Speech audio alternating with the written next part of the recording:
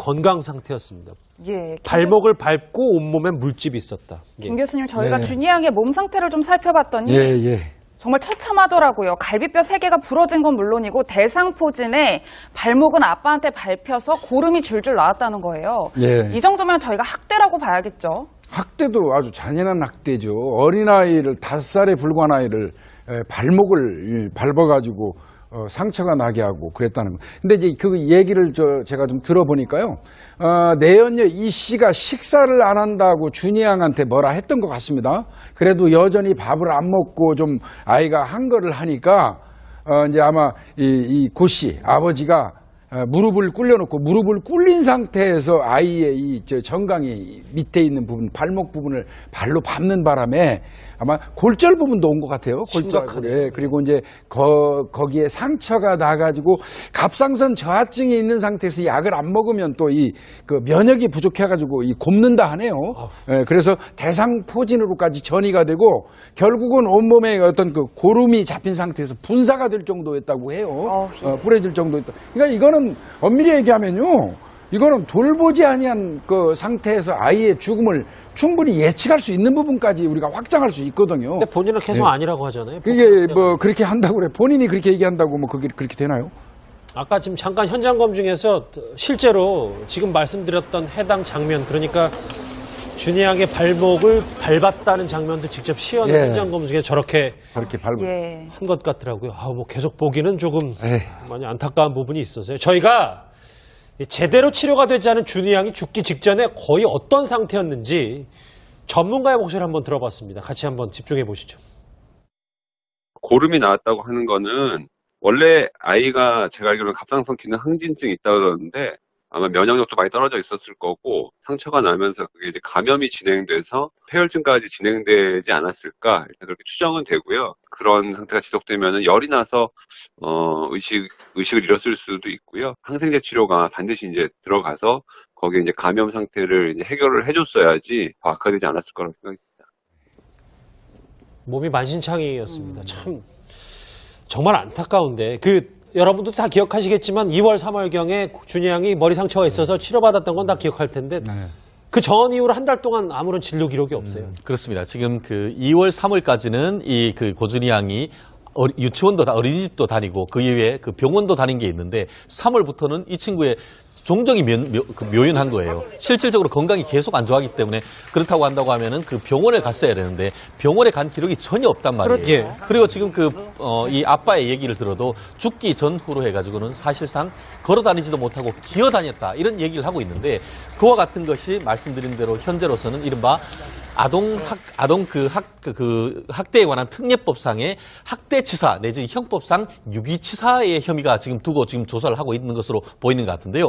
본인은 지금 부인하고 있지만 말씀드렸듯이 어린 아이를 마땅히 병원까지 데려갈 의무가 있는 그 부모가 그대로 그것을 방치해서 죽었다라고 하는 사실이 밝혀진다고 하면은 단순한 지금처럼 어떤 사체 유기뿐만 아니고 말씀드렸듯이 유기치사 내지 학대치사 이 부분이 아마 앞으로 어떤 그 검찰 예. 경찰 수사의 핵 심이 될 가능성이 높지 않을까 싶습니다. 예, 오 교수님 그렇다면 저는 궁금한 점이 뭐 이마가 찢어졌을 때까지는 병원을 데려갔는데 4월에 급격히 악화가 됐을 땐 병원을 안 데려갔단 말이에요. 네. 본인의 어떤 학대를 숨기기 위함이었다. 저희가 이렇게 봐야 될까요? 뭐 딜레마에 빠져 있는 거죠. 본인들이 어떻게 보면은 진짜 그 병원에 데려가서 어, 치료를 받게 해야 될 때는 사실 이 그 준이 양의 몸 상태가 상당히 좋지 않았을 때에 이제 데려가야 되는데 어, 그렇게 되면은 당연히 그거는 의료기관에서 이 아이의 몸 상태가 왜 이런 정도까지 왔는가 라고 하는 것과 연관을 해가지고 어, 추궁이 있을 것이고 그렇게 된다면 자신들이 한 여러 가지 어떤 그 행동들이 백일화에 드러날 것을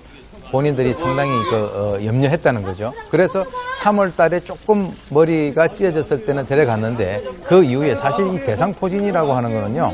이 주로 노인들이 걸리는 겁니다. 그렇죠. 그리고 이제 젊은 층에서도 아주 극심한 스트레스를 받게 되면 에, 걸리는 건데 사실 저는 이제 어린아이가 대상포진에 걸렸다라고 하는 거는 거의 저- 들어본 적이 없거든요. 예. 대단히 그 극심한 그 어, 어, 좋지 않은 환경 속에서 있었다라고 하는 것을 그 증명하는 것이죠. 준비한 거 한번 더 봐야 될 것 같습니다. 인면수심 친아빠 얘기 하나 더 짚어보죠. 이 전에는 이제 준이 양이 하늘나라로 가기 전이고 이후부터가 이제 더 네. 경악할 일들입니다. 7개월간 양육 수당, 수당을 받았어요. 준이 양이 숨졌는데 말이죠. 관련 목소리 한번 듣고 오겠습니다. 양육수당이 지급이 중단을 하고 있어요. 아, 그래요? 읍- 읍면에 신청을 해가지고 이 아이가 다니고 있는지 안 다니고 있는지 자체를 저희가 확인했으면 그거죠. 예, 오 교수님 저희 채널의 단독 취재 결과 이 사실이 드러난 건데 준이 양이 숨진 게 4월이란 말이에요. 그런데 6월에 이 친아빠가 사무소까지 직접 걸어가서 신청을 했다는 거예요. 양육수당을. 저희가 이 부분을 어떻게 봐야 될까요? 어, 일단 4월 26일 날 아이가 사망했고 4월 27일 날 시신 유기했습니다. 그렇죠. 그러니까 이제 5월 달에는 아마 정신이 없었겠죠. 앞으로 어떤 식으로 본인들이 대처를 해야 될 것인가. 그러다가 6월 달쯤 되니까 제정신이 돌아온 거예요. 자, 아이는 이양 죽은 것인데 이 아이에 대한 양육 수당을 신청을 하게 되면 그건 우리가 돈을 탈 수 있다. 그런 의미에서 본인이 직접 걸어가지고 신청을 한 것이고 평정심을 꽤 빨리 찾네요. 네. 그리고 한 그, 어, 이 7개월간 매달 10만 원씩 해서 그것도 70만 원을 탔단 말이죠. 그렇죠. 그러니까 어떻게 보면 과연 이 사람이 에, 친부모인가? 라고 하는 그런 그 상황에도 우리가 좀 의심이 될 정도이다. 이렇게 봅니다. 최 변호사님, 금액이 중요한 게 아니라 양육수당을 신청했다는 것 자체가 중요한데 이거 사문서 위, 위조잖아요. 어, 결국 그 본- 본인의 어떤 그 아이가 죽었음에도 불구하고 마치 살아있는 것처럼 했는 것인데 이거 같은 경우에는 본인 명의의 거를 이렇게 시- 신청했기 때문에 문서 위조라고 보기는 어렵습니다. 다만 어떻게 보면 보조금 지급과 관련되는 것의 사기가 될 가능성이 상당히 높아 보이는데요. 말씀드렸듯이 이 그 아빠 같은 경우에는 7월 달이었습니까? 이 그 아이가 그 생일 때에 생일이라고 하면서 미역국까지 끓여서 돌렸다는 건 아닙니까? 예. 마치 살아있는 것처럼 위장을 해야 되기 때문에 그러한 연장선상에서 아이에 대한 이 아이가 살아 있으니까 당연히 또 아이에 대한 양육수당까지 한다. 결국 철저하게 어떻게 보면 아이가 살아 있는 것으로 위장하는 가, 가운데서 그것을 빙자해서 돈까지 어떻게 보면 나라에 대해서 사기를 쳤다. 이렇게 보는 것도 맞을 것 같습니다. 자, 지금 화면에 보시는 것처럼 군산 야산에 딸 묻어놓고 꼬박꼬박 양육수당 받은 거잖아요. 하, 참, 준비한 거 하나 더 있습니다. 같이, 같이 보시죠. 글쎄, 이 얘기도 저희가 어떻게 받아들여야 될지 참 모르겠는데, 지금 현재 상황이에요. 이게 과거 얘기고. 유치장에서 지금 웃음을 지었다는데, 김복준 교수님, 예. 이거 설명을 좀 해주세요. 그 유치장 내에 이제 이 사람들은 그 세 사람 다 각각 분리해서 유치장 내에 이그 수용을 한 상태예요. 세 사람이라고 하면 이제 친부, 어, 내연녀. 친부, 내연녀, 내연녀의 어머니. 어머니, 그렇죠. 이세 사람이 같이 구속돼 있지 않습니까? 그러니까 각각 다른 방에 서로 통모하지 못하도록 어, 이제 분리해서 이 수용을 한 상태인데요. 근데 유치장 내에도 이제 그 TV를 틀어줍니다. TV를 예. 그 이제 보여주는데 아마 그 당일날 그 연예인 관련돼서 오락 프로그램이 나왔던 것 같습니다. 그 오락, 오락 프로그램이 나왔는데 이, 나, 이 내연녀, 그러니까 이 내연녀하고 아버지라는 사람이 그걸 보면서 웃더라는 거예요. 그걸 보고 그 유치장에서 근무하는 경찰관들도 기가 막혔다는 겁니다. 예, 그러니까 뭐 전혀 어떤 그 자신의 그 혐의라든지 자신의 딸에 대한 어떤 억울한 죽음에 대한 감정이 예. 예, 없고 이 대전의정이라고 그러죠. 어떤 반성의 기색이 전혀 보이지 않더라. 어, 이렇게 경찰관들이 전언하고 있습니다. 예. 예, 오 교수님, 김 교수님 말씀처럼 친부의 주장대로 아무리 딸이 병사를 했더라 하더라도 친아빠가 웃음이 나오지는 않을 것 같은데 이렇게 TV를 보고 웃고 있다면 죄책감은 저희가 찾아볼 수 없다 이렇게 봐야 될 것 같아요. 아까 말씀하셨듯이 굉장히 빠르게 전환했다라고 보는데요. 예. 이 사람들은 이미 그 심적으로 정리를 완전히 한 것 같아요. 한 것 같고 자기들이 경찰에 이제 지금 현재 그 체포돼 있는 그런 상황에서 어, 본인들은 뭐 어차피 뭐 옛날 같으면은 뭐 사형도 있고 그랬지 않습니까? 그런데 자기들 나름대로는 어느 정도 뭐 형량을 받을 것이다라고 어 뭐 신문이라든가 보도를 통해서 본인들이 그 짐작을 하고 있는 것 같고요. 또 뭐라고 얘기했냐면 아까도 지켜주지 못해 미안하다라고 하는 이런 이상한 얘기들 을 하고 있지 않습니까? 예. 그러니까 그 순간순간 감정에 충실한 거죠. 즉 다시 말해서 아, 예. 어떤 예능 프로에 나와가지고 아주 우스운 장면이 나오면 자기가 현재 어떤 상황에 놓여 있다라고 하는 그 사실 자체에 대한 인식을 순간적으로 못 해버린다는 예. 거죠. 그래서 그 순간을 미분해 보면은 즐거움이 나올 수 있다. 아, 그러니까 지금 보면 자막에도 도시락 싹싹이라고 나오는데 배고프니까 밥 먹고 웃기니까 그렇습니다. 나오니까 웃고 뭐 이런. 그리고 뭐 이제 뭐 배뇨감을 느끼면은 가서 뭐 대소변을 보듯이 그런 식으로 어떤 그 본인의 어떤 생리적인 그러한 어떤 그것을 어, 충실하기 때문에 일반인들이 봤을 때는 도저히 이해할 수 없는 그런 행동들을 하고 있다는 거죠. 핵심이 될 가능성이 높지 않을까 싶습니다. 예, 오 교수님 그렇다면 저는 궁금한 점이 뭐 이마가 찢어졌을 때까지는 병원을 데려갔는데 4월에 급격히 악화가 됐을 땐 병원을 안 데려갔단 말이에요. 네. 본인의 어떤 학대를 숨기기 위함이었다. 저희가 이렇게 봐야 될까요? 뭐 딜레마에 빠져 있는 거죠. 본인들이 어떻게 보면은 진짜 그 병원에 데려가서 어, 치료를 받게 해야 될 때는 사실 이 그 준이 양의 몸 상태가 상당히 좋지 않았을 때에 이제 데려가야 되는데 어, 그렇게 되면은 당연히 그거는 의료기관에서 이 아이의 몸 상태가 왜 이런 정도까지 왔는가 라고 하는 것과 연관을 해가지고 어, 추궁이 있을 것이고 그렇게 된다면 자신들이 한 여러 가지 어떤 그 행동들이 백일화에 드러날 것을 본인들이 상당히 그 어, 염려했다는 거죠. 그래서 3월 달에 조금 머리가 찢어졌을 때는 데려갔는데 그 이후에 사실 이 대상포진이라고 하는 거는요.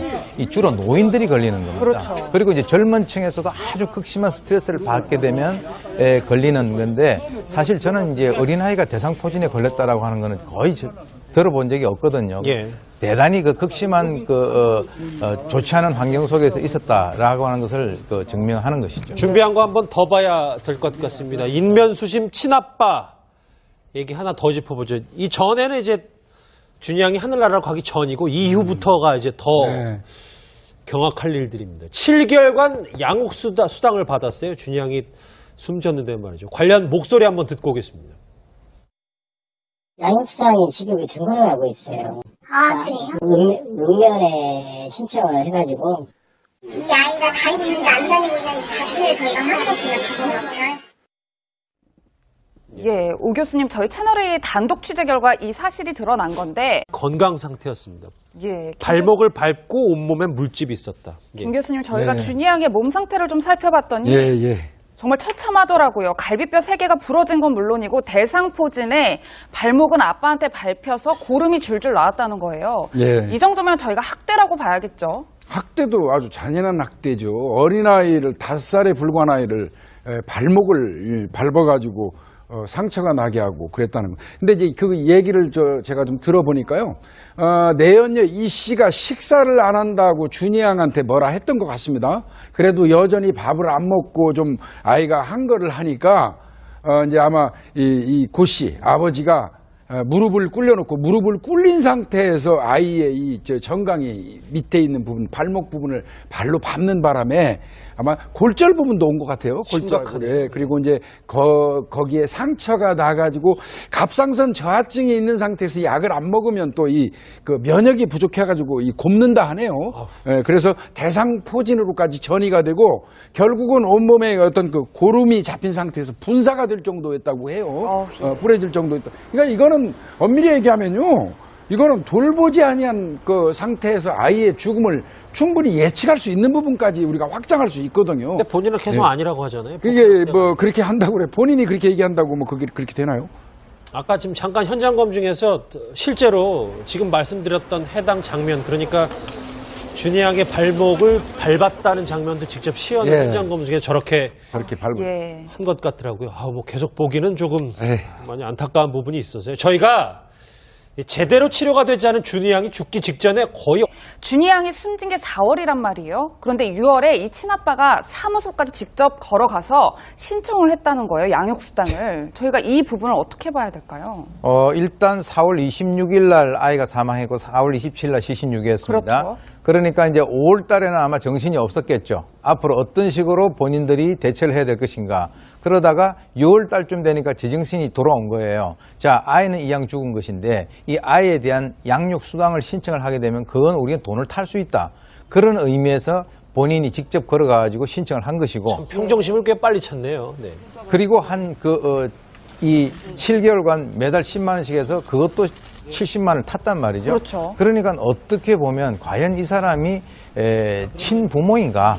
라고 하는 그런 그 상황에도 우리가 좀 의심이 될 정도이다. 이렇게 봅니다. 최 변호사님 금액이 중요한 게 아니라 양육수당을 신청했다는 것 자체가 중요한데 이거 사문서 위, 위조잖아요. 어, 결국 그 본- 본인의 어떤 그 아이가 죽었음에도 불구하고 마치 살아있는 것처럼 했는 것인데 이거 같은 경우에는 본인 명의의 거를 이렇게 시- 신청했기 때문에 문서 위조라고 보기는 어렵습니다. 다만 어떻게 보면 보조금 지급과 관련되는 것의 사기가 될 가능성이 상당히 높아 보이는데요. 말씀드렸듯이 이 그 아빠 같은 경우에는 7월 달이었습니까? 이 그 아이가 그 생일 때에 생일이라고 하면서 미역국까지 끓여서 그랬죠. 돌렸다는 건 아닙니까? 예. 마치 살아있는 것처럼 위장을 해야 되기 때문에 그런 연장선상에서 아이에 대한 이 아이가 살아 있으니까 당연히 또 아이에 대한 양육 수단까지 한다. 결국 철저하게 어떻게 보면 아이가 살아 있는 것으로 위장하는 가, 가운데서 그것을 빙자해서 돈까지 어떻게 보면 나라에 대해서 사기를 쳤다. 이렇게 보는 것도 맞을 것 같습니다. 자, 지금 화면을 보시는 것처럼 군산 야산에 딸 묻어놓고 꼬박꼬박 양육수당 받은 거잖아요. 하, 참, 준비한 거 하나 더 있습니다. 같이, 같이 보시죠. 글쎄, 이 얘기도 저희가 어떻게 받아들여야 될지 참 모르겠는데, 지금 현재 상황이에요. 이게 과거 얘기고. 유치장에서 지금 웃음을 지었다는데, 김복준 교수님, 네. 설명을 좀 해주세요. 그 유치장 내에 이제 이 사람들은 그 세 사람 다 각각 분리해서 유치장 내에 이그 수용을 한 상태예요. 세 사람이라고 하면 이제 친부, 어, 내연녀. 신부, 내연녀, 내연녀의 어머니. 어머니, 그렇죠. 이세 사람이 같이 구속돼 있지 않습니까? 그러니까 각각 다른 방에 서로 통모하지 못하도록 어, 이제 분리해서 이 수용을 한 상태인데요. 근데 유치장 내에도 이제 그 TV를 틀어줍니다. TV를 예. 그 이제 보여주는데 아마 그 당일날 그 연예인 관련돼서 오락 프로그램이 나왔던 것 같습니다. 그 오락, 오락 프로그램이 나왔는데 이, 나, 이 내연녀, 그러니까 이 내연녀하고 아버지라는 사람이 그걸 보면서 웃더라는 거예요. 그걸 보고 그 유치장에서 근무하는 경찰관들도 기가 막혔다는 겁니다. 예, 그러니까 뭐 전혀 어떤 그 자신의 그 혐의라든지 자신의 딸에 대한 어떤 억울한 죽음에 대한 감정이 예. 예, 없고 이 대전의정이라고 그러죠. 어떤 반성의 기색이 전혀 보이지 않더라. 어, 이렇게 경찰관들이 전언하고 있습니다. 예. 예, 오 교수님, 김 교수님 말씀처럼 친부의 주장대로 아무리 딸이 병사를 했더라 하더라도 친아빠가 웃음이 나오지는 않을 것 같은데 이렇게 TV를 보고 웃고 있다면 죄책감은 저희가 찾아볼 수 없다 이렇게 봐야 될 것 같아요. 아까 말씀하셨듯이 굉장히 빠르게 전환했다라고 보는데요. 예. 이 사람들은 이미 그 심적으로 정리를 완전히 한 것 같아요. 한 것 같고 자기들 어떤 상태였는지 전문가의 목소리를 한번 들어봤습니다. 같이 한번 집중해 보시죠. 고름이 나왔다고 하는 거는 원래 아이가 제가 알기로는 갑상선 기능 항진증이 있다고 그러는데 아마 면역력도 많이 떨어져 있었을 거고 상처가 나면서 그게 이제 감염이 진행돼서 폐혈증까지 진행되지 않았을까 일단 그렇게 추정은 되고요. 그런 상태가 지속되면은 열이 나서 어 의식 의식을 잃었을 수도 있고요. 항생제 치료가 반드시 이제 들어가서 거기에 이제 감염 상태를 이제 해결을 해줬어야지 더 악화되지 않았을 거라고 생각이 듭니다. 몸이 만신창이였습니다. 참 정말 안타까운데 그 여러분도 다 기억하시겠지만 2월 3월경에 준이 양이 머리 상처가 있어서 치료받았던 건 다 기억할 텐데 그전 이후로 한 달 동안 아무런 진료 기록이 없어요. 그렇습니다. 지금 그 2월, 3월까지는 이 그 고준희 양이 어- 유치원도 다 어린이집도 다니고 그 이외에 그 병원도 다닌 게 있는데 3월부터는 이 친구의 종적이 면, 묘, 그 묘연한 거예요. 실질적으로 건강이 계속 안 좋아하기 때문에 그렇다고 한다고 하면은 그 병원을 갔어야 되는데 병원에 간 기록이 전혀 없단 말이에요. 그렇죠. 예. 그리고 지금 그, 어, 이 아빠의 얘기를 들어도 죽기 전후로 해가지고는 사실상 걸어 다니지도 못하고 기어 다녔다. 이런 얘기를 하고 있는데 그와 같은 것이 말씀드린 대로 현재로서는 이른바 아동 학, 아동 그 학, 그, 그 학대에 관한 특례법상의 학대치사 내지 형법상 유기치사의 혐의가 지금 두고 지금 조사를 하고 있는 것으로 보이는 것 같은데요. 본인은 지금 부인하고 있지만 말씀드렸듯이 어린 아이를 마땅히 병원까지 데려갈 의무가 있는 그 부모가 그대로 그것을 방치해서 죽었다라고 하는 사실이 밝혀진다고 하면은 단순한 지금처럼 어떤 사체 유기뿐만 아니고 말씀드렸듯이 유기치사 내지 학대치사 이 부분이 아마 앞으로 어떤 그 검찰 예. 경찰 수사의 핵